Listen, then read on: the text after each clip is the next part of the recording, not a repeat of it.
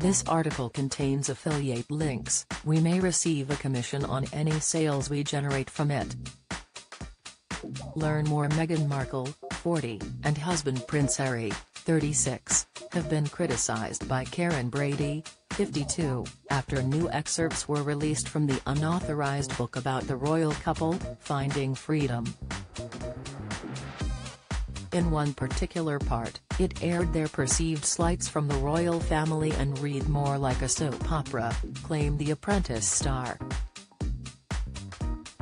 Take a look at Amazon's best-selling books in royal historical biographies. Amazon's best-selling books in royal historical biographies learn all about the secretive personal lives and history of the royal family as you've never seen them before. In Amazon's best-selling royal historical biographies This box contains affiliate links, we may receive a commission on any sales we generate from it.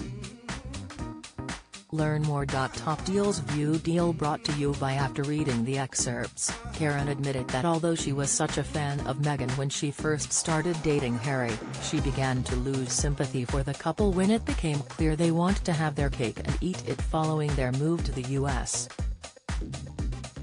The Apprentice star hit out at the Duke and Duchess of Sussex in a column for The Sun, branding the pair completely tone deaf for airing their grievances and double standards publicly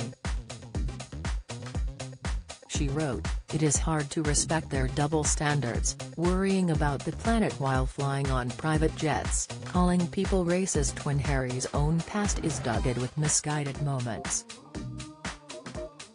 And now this new chapter, airing all the perceived slights and supposed mistreatment, is totally tone-deaf given the unimaginable levels of privilege they enjoy.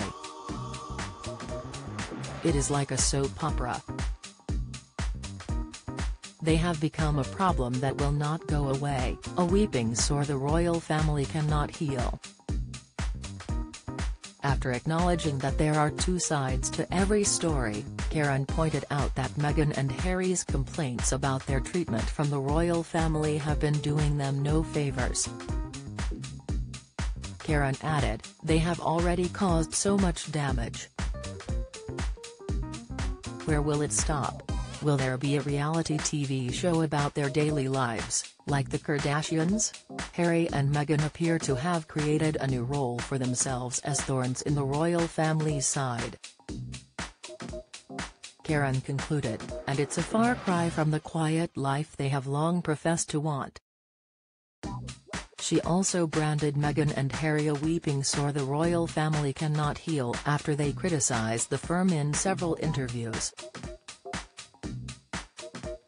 In a landmark sit-down with Oprah Winfrey last year, both Meghan and Harry revealed their discontent at a number of issues within the palace.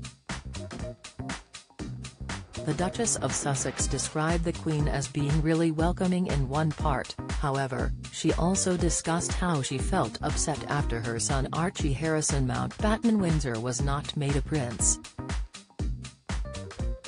She claimed that there were multiple conversations and concerns about how dark her son's skin color would be. The statement left Oprah looking visibly shocked during their discussion. The host asked who made such a statement, however, Meghan would not reveal who it was, saying it would be very damaging to their reputation but she replied by saying there were several conversations surrounding her child's complexion. Meghan shared, in those months, when I was pregnant, all around this same time, we had in tandem the conversation of he won't be given security, he won't be given a title.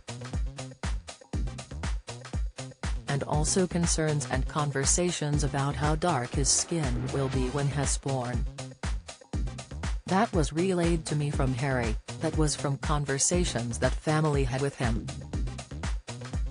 It was really hard to see those as compartmentalized conversations, she added.